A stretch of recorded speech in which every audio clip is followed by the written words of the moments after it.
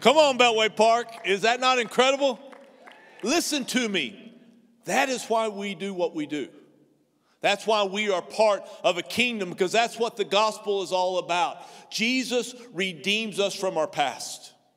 Jesus restores us from the things of our past. But please, please listen, that's not all. Did you hear something else in this? Jesus also calls and gives purpose to our lives. See, there is a reality I think we forget that Jesus designed us from the beginning for significance. You and I were not placed on planet Earth to survive.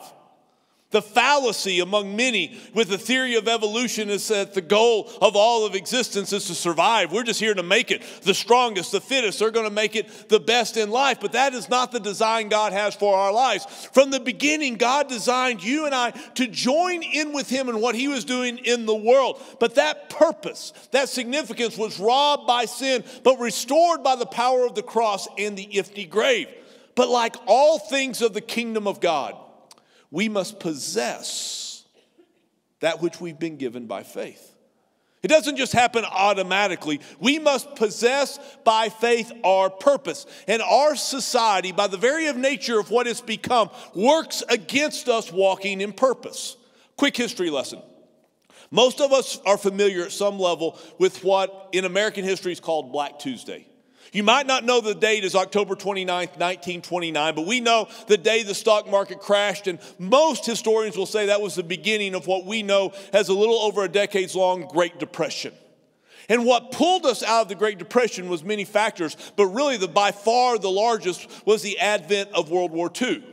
All of a sudden, we had to send our soldiers to war. They were being paid and we had to produce things to be able to fight battles on both the Pacific front and the Euro- European front. And that lifted our economy out of this depression. But after the war ended, which was a great time of celebration, there was a problem, at least economically.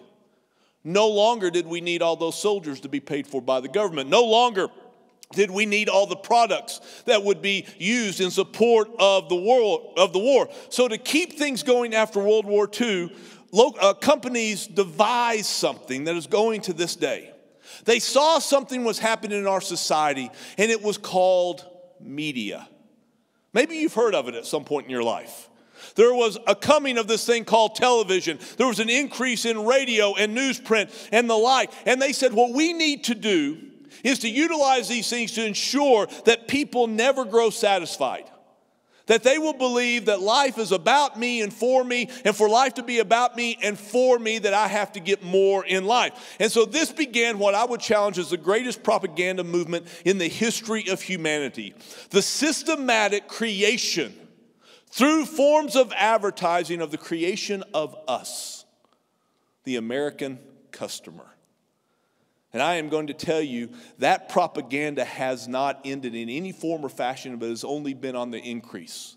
Systematically, we are trained that life is for us and about us, and we should get all that we can get in life. And if we really want to be satisfied in life, if we really want significance, get all that you can get. And it's been on the increase. If you go back to the 1970s, the average, the average person in America received about 500 commercial stimuli a day commercial messages. You move to the year 2000, the turn of the millennium, that number had increased to about 3,000. Now you come into 2022, and the average American receives somewhere between 8 and 10,000 commercial messages a day. If you are the younger end of that, 35 or under, that number spikes up, believe it or not, to almost 20,000 messages a day.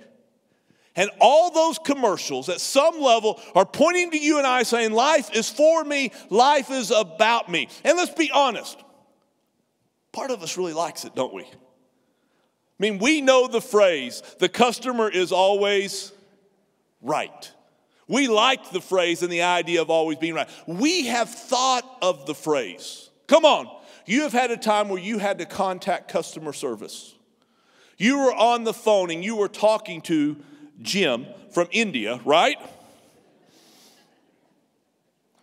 And you're thinking in your mind the customer's always right, and you're arguing and you're doing things, but deep down, we know the customer's not always right. I have worked in retail. People are not always right, people are sometimes idiots. In fact, I can look back on my life and I wish I could say it was like decades ago, but I can't say that. And in my mind, thinking the customer's always right, I've done some things that were pretty idiotic in the treatment of people. But we like the idea that I'm the one that right is right. Life is about me and life is for me. We can even approach our faith journey that way. I've had people tell me, hey, I, I tried that religion thing, I tried that God thing, and it didn't work for me. And what I found out in the midst of the conversation is when we say we try God, we try religion, what we normally mean is I want God's resources. I want his power, I want his wealth, I want his grace, I want whatever he has, and I want him to give it to me whenever I want him to give it to me because I am the customer. It's what we've been told since we were little, little bitty tykes, right? Guess what? It doesn't work. You want to know why? God has this notion that um, He's God, and you are not, and I am not. And it is why the scripture shouts to you and I, for by him all things were created, things in heaven and on earth, whether visible or invisible, whether thrones or powers or rulers or authorities, all things were created by him. Somebody say, by him. But the big one, and for him. Somebody shout, for him. See, our lives are designed to be tied to Him, and our greatest joy in life is going to come as we center our life on Jesus and allow Him to use our lives for His purposes. Listen to me, we are not customers of God, we are followers of Jesus Christ. One time, Jesus took his disciples to one of the northernmost parts of Israel a place called Caesarea Philippi. If you had been there in the first century, you would have been very shocked because it was one of the most pagan parts of Israel in existence. It was a place where they had all these temples to Greek and Roman little g gods. It was a place that if you wanted to explore all the philosophies, ideologies, and theologies of the day around which you could center your life, around which you could live, that was the place. And from that place where you had all these choices on what was most important to life, where you're supposed to center your life, Jesus asked the disciples, but not just the disciples, he asked you and I a question Who do you say that I am? And Peter, this guy that always wanted to seem to be kissing up to the rabbi, right? He said, First and foremost, you are the Christ, the Son of the living God. And that in that statement, he's saying, You, Jesus, alone are the true God. You alone are King of all kings. And Jesus responded, On this rock, not on Peter, but on the confession of Peter upon anyone who would make confession that he was Messiah. On this rock, I will build my church, and the gates of hell will not overcome it. Now, come on, let's be honest right now. It doesn't matter if you're at the North Campus, South Campus, we got a lot of people online with sickness, right? A lot of things going on in our world. It doesn't matter where you are. We can approach church with the idea of being a customer. Now, I'm going to go to a church where I like the music. I'm going to go to a church where they have awesome kids' music. I'm going to go to a church where the pastor doesn't yell, which means you're at the wrong church. And I get at some level, there initially has to be a connection, right? We initially have to have some form of attraction or something like that. But what if that isn't the ultimate goal? What if, let's, let's just explore this for a second. What if church isn't ultimately about me, maybe not even ultimately for me? What if Maybe we're not getting out of church what we think we should because we're approaching church wrong. What if we're not supposed to be church customers? What if, and this is radical, what if the church is a tool God wants to use to help fulfill my destiny in life and for me to help others do the same? You see, Jesus said, Upon the rock, those people who will confess me as Lord and Savior, I'm going to build my church, and the gates of hell will not prevail against it. When we hear that, most of us interpret it with an idea in mind that the promise is that no matter what the enemy throws at us, he will not be able to defeat us. And so what we do is we get a picture that the enemy is attacking, the enemy is attacking, he is coming against us, and we are hunkered down, protected by Jesus. It's like it's like being in a tornado shelter during a storm, and we just got to let the storm pass. And we can even think of the church as part of that shelter in life, a place where we hunker down together and we survive this terrible world. Now, I don't want you to mishear me. The church, not a place, not an event, God's people, is definitely a place where we can walk with one another and bear one another's, protect one another, support one another's. However, the promise of the verse, on this rock I will build my church, is not a people who hunker down and survive. it would have been the very opposite of what those first followers of Jesus would have heard. I've been blessed to be to Israel numerous times, and all over the land of Israel, they have archaeological reconstructions of ancient cities. And ancient cities, for the most part, had walls around them. I'm hoping you can see this because because of all the turmoil in the Middle East, Jerusalem, specifically the old city of Jerusalem, is something that we see all the time. This is a picture from the Mount of Olives that I really do hope one day everyone can see in person. There is something about taking a pilgrimage to Israel. I can't explain it to you, and I'm not selling a tour, I'm not part of a tour company, I get nothing out of this. I'm just saying it's worth your journey. And you can see here the ancient walls of Jerusalem. Now, these are not the walls that existed in Jesus' times. The ones that existed in Jesus' time literally are about 20 feet underneath these. These are new by Israeli standards. They're like 600 years old, okay? Real new and such. And you can see this is a picture, there's walls around, and walls were to defend the city. An enemy would come against the city and they would defend it. And in the walls, you had, you can see one right here, you see a gate, and the gate was the most vulnerable place in the city wall. These gates have been filled in. There's actually prophetic significance to that. I'll tell you at a later time. But gates were the most vulnerable places because that's what the doors would open to let people in. It would close to try to keep the, de- the defenses up and such, but they were the most vulnerable place. In fact, you can see all over Israel that the nature of how gates were built evolved over the centuries to try to make them more and more defensible and such. Now, Listen to the promise of Jesus again. Keep this in mind. On this rock I will build my church, and hell will not overcome the gates of the church. Is that what it says? Remember, walls and gates surround that which they want to defend. On this rock I will build my church, and the gates of hell will not overcome it. Listen to me. The only time you will face the gates of hell is when you're attacking hell. The gates of hell do not come against the church. The church exists to attack the gates of hell together. And when we do that, when we live out this purpose of significance, guess what? The gates of hell will not prevail against the church. Listen to me. See, church isn't this place that we go to that's an end of itself. That's why I'm imploring you in 2022 stop going to church. Better yet, stop just going to church. It doesn't matter where your what your attendance patterns are. It doesn't matter if you're at the South Campus, the North Campus, normally online, a combination of all those. Just stop merely going to church this year. Church isn't a place to attend. Church, listen to me, is a mission. We have a charge to attack the gates of hell. And many of us are missing out on the wonderful things that God has for our lives because we're not joining in the mission. The Apostle Paul declares, For it is by grace that you have been saved through faith. This is not from yourself. It is the gift of God, not by works, and none of us can boast. I mean, come on. How many of you, North South Campus online family, show your hands right now. If you are thankful for the grace of God, shoot your hand up right now. Come on, we are grateful for what God has done. But God didn't save us so we could just survive this world.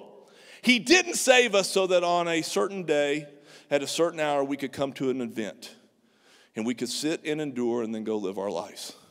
He didn't even create us just to hunker down and survive this world. It goes on. For we are God's workmanship, created in Christ Jesus to do what? Good works which he prepared in advance for us to do. So before you were born into planet Earth, and God had you in his heart and mind, he had things that you were to be a part of. Things that you were to do, good works to partner with him, to be significance, to matter. Have you ever wondered why we ache to matter? Why we ache at the end of our lives? People just want to say, I hope that my time on planet Earth meant something. We were designed to matter. That's what God prepared for you and I to do. But sin robbed that purpose from us. But God, through His grace in Jesus Christ, restored it and empowered it. See, God made us again in Christ Jesus to make a difference in people's lives. But we have this tendency, and we know it, that because, especially this culture of the customer, we have this tendency to drift back and make life about me and for me. And because of this tendency, we have church. A people who are supposed to stir up one another. Let us, somebody shout us. That's why there's an us. Let us consider how to stir one another up to what? Love and good work, the very things God prepared for us, not neglecting meeting together. That's why we get together. We don't get together just to go through the motions. We don't get together just to do a religious event. We want to stir one another up to love and good deeds. Some have gotten in the habit of not meeting together. But he said, don't let that happen. But we need to encourage one another, and all the more because we know the day of Jesus' return is coming soon. We meet together to encourage one another so that we with Jesus can possess by faith the purpose God has for our lives. See, you heard in Bo's story that God got a hold of his heart and life and said, I'm going to restore your past. I'm going to redeem your past. And the initial thing he thought was, get out of the business. Because everything about my past was tied to the business, and that seemed to be all the issues of my life, and it sounds logical. But all of a sudden, God began to stir them when they thought about it, prayed about it. God didn't tell them to get out of business, He said to do His business differently to make his business about Jesus and for Jesus, if I may. God spoke to a man and said, Attack the gates of hell in your business. Go after that. He was told to live life as one who seeks to bless, as we talk about around here, just to help people who are far away from God find God. But I want to give you a little insider scoop on the story because I wasn't personally a part of the story, but I was connected to people and they were telling me about what was going on. And here's what's incredible the way God stirred Bo to possess by faith his purpose, how God stirred him to love and good deeds was through the church. Not a service, not a building, not an event, but people. There were key people at key times in his life that God used to stir him to dare dream that he wanted to do something through his life beyond what he could imagine. And doing that has become a source of great joy because he's living according to his design. Hear me, that's the church, not a place to attend, not an event to be a part of, a people who together say, We will attack the gates of hell because we have a promise that the gates of hell will not prevail against those who are empowered by Jesus, called the church. We attack the gates of hell together. Obviously, we're not talking about violence, we're talking about something stronger. We're talking about radical love, we're talking about radical service, empowered by the Holy Spirit. If you call yourself a Christian, if you say, I am a follower of Jesus, I have given my life to Jesus Christ by faith, He has saved me, not of my works, but because of His grace alone. I'm going to heaven not because I did enough good things, but because I've embraced, my, I've embraced Jesus Christ as my Lord and Savior. If that is you, and you embrace that, then let me tell you something. You are called into ministry. You are a minister. Now, not in the I get to do weddings kind of minister, okay? That's like a state of Texas thing, a United States law thing. I'm not talking about that. I am talking about you are called into ministry to serve and help one another, other people. You are called to demonstrate the love of Jesus through your actions. I don't know what all the details of that will look like for your life because there are thousands of unique expressions of life that are gathered together at our campuses and online right now listening to this. But here's what I do know I do know that you are where you are not on accident. I don't believe that we're accidentally placed anywhere. You are in your workplace. I don't care if you like your job or don't like your job. I'm not saying you have to stay in your job for the next 20 years. I'm just saying you are where you are right now because God wants to use you right there. You are in your neighborhood because God wants to use you in your place. Your kids are on those ball teams. And I'm just going to hate to tell you right now, your kid probably not going to be a professional athlete. Been there, done that. You got to just look at the genetics, people. Look at yourself in the mirror and go, yeah, they don't have a chance, right? That, that is a reality. But you know what? You can make a difference there. God's put you in the lives of people there. And maybe He's sovereignly orchestrating you that you can be a person who can bless. You know what I mean by bless, right? We just begin by praying for people, we listen to them. We eat and have coffee with them, we serve, and we share our story, and we give them opportunity to know the love of Jesus Christ and the hope that He gives. He placed you there. I know that. I also know this. I don't know all the details of your life, but I know this. God has called us as a people to storm the gates of hell in the big country. He has called us to make it hard to go to hell from the big country, and we do that together. And I'm going to tell you right now, we need you. I would have said before the pandemic, we need you, but I'm telling you, since the pandemic, we really need you. Because you can look around sometime and think that, man, we have two campuses, two meeting days, six services, everything's going great. They don't need me. That's a lie. The things God has called us to the things that He wants us to be a part of. We need each and every person using what God has deposited in you. We need you to serve. I, I don't know where that would be. Maybe you're supposed to invest in the lives of some of the thousands of kids that come through our buildings each and every week. Man, I am so grateful that there were people who were willing to pick up me, an unmedicated ADD kid that took a lot of patience and they would pick me up on a bus and they would take me to church week after week after week after week after week. And they introduced me to the love of Jesus so that on January 14, 1980, which was just a couple of days ago, 42 years ago, I bowed my knee and said, Jesus, I want to serve you for the totality of my life. And it was because those people invested in me. And I'm here because of those men and women. It may be investing in the lives of middle school high school kids, lives that are very impressionable right now. I've heard people say, and I'm not sure I disagree, that it may be the toughest time ever to be a middle school or high school kid. And what more do they need? The men and women of God who will invest in their lives. It may be serving people in our community who have needs in their homes and things like that but can't afford it. And Our Boots on the Ground team goes in there and helps people do that. Or maybe it's people who need help with their automobile and you take skills with an automobile and you serve in our auto ministry showing the love of Jesus. Hear me. We know that God has called us to make a stand for life, for the unborn, for men and women who have who have been deceived by the lie of abortion but it's not it's also not that. We also know that we have to take care of the lives of those kids that are pulled out of traumatic situations. They're placed in foster uh, homes. We need foster homes that are spirit filled full of love full of the power of god and we need them right where they are in whatever community they are in. We need to stand. I, I don't know. I'm just telling you this there are literally hundreds of ways that you can serve there's literally hundreds of ways of love and good deeds. At Beltway, in our partner ministries around the city, I don't know where specifically you should go. I'm just going to tell you this. I do know this. You're called. You're called to love and good deeds. I am called to love and good deeds, and we need each other to encourage that. Because here's what's happening right now I, am telling you that you are needed, you are called to love and good deeds, and immediately the excuses start coming. It's amazing how that happens, almost like you have an enemy that wants to work against you for the purposes of God. And here's what he's going to tell you you're not qualified. Guess what? He's right. In and of yourself, you're not qualified. Yeah, I don't have enough experience. Probably not. I don't have enough education. How much is enough education? I, I don't know the Bible well enough. I mean, I've studied the Bible a lot in my life, and I still get asked questions all the time I don't know the answer to. See, we come up with all these excuses, and I can look at you and just say, yeah, every one of them's true.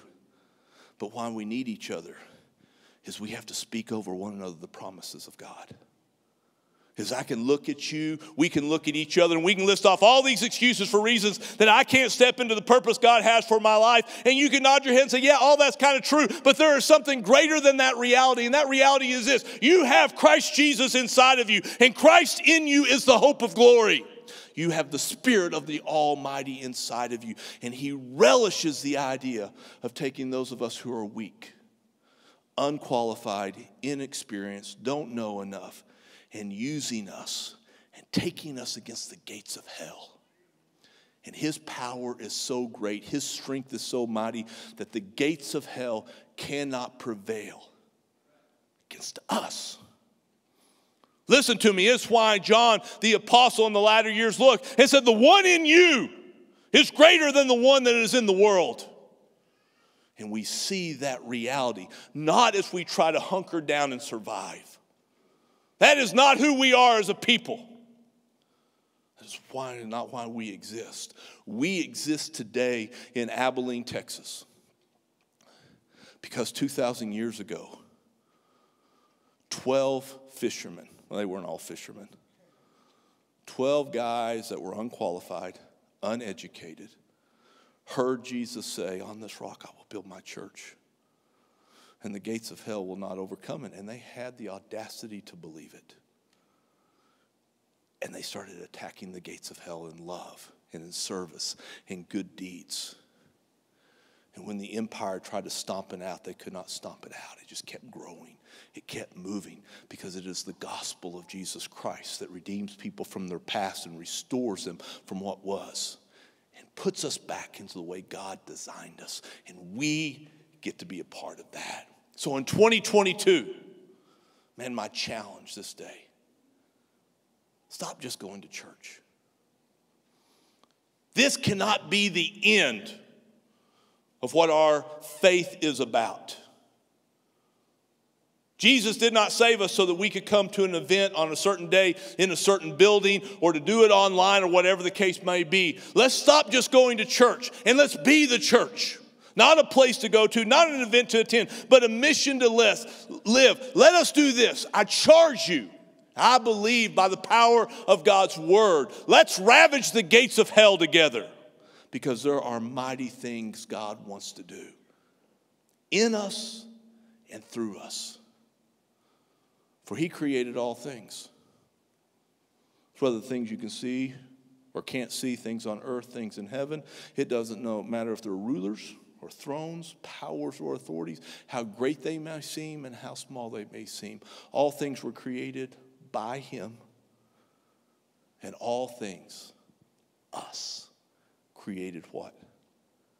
For him. Our greatest joy will come as we live for him and join him in what he is doing in the world. So let's do this. Let's bow our heads. Both campuses right now are online family. I just want you to bow your heads. We're not going to linger here long, so you got to do business with God.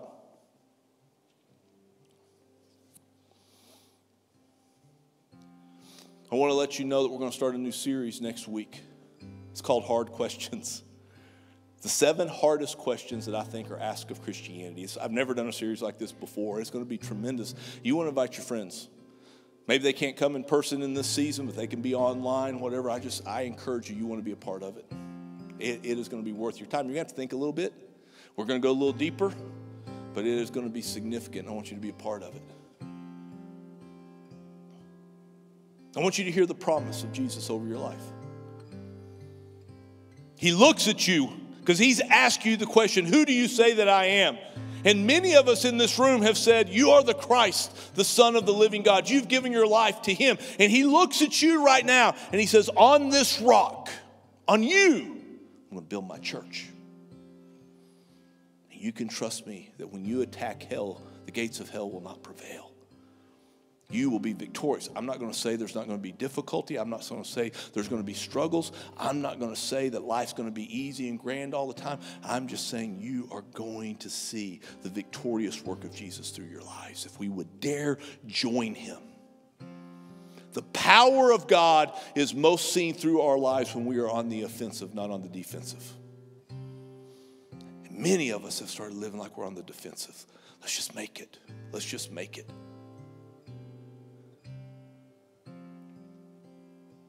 I charge you. Some of you right now, you know that you're living the way God has called you to live. You're serving, you're giving, and I just bless you with a fresh anointing for 2022, a fresh joy in what you are doing. Do not grow weary of well doing, the word says. But in due season, we will reap the harvest if we do not give up. So I ask the Holy Spirit upon you who are giving and serving that you'll have a spirit of perseverance and joy in the midst of your perseverance. For the joy set before you, may you endure everything you endure as you labor for Him. And if you're not in that place right now, it's okay. We say around here, it's okay not to be okay, but it's not okay to stay not okay. God's called you.